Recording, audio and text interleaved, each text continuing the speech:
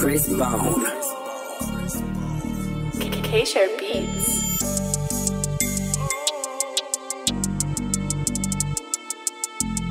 Purchase your track today.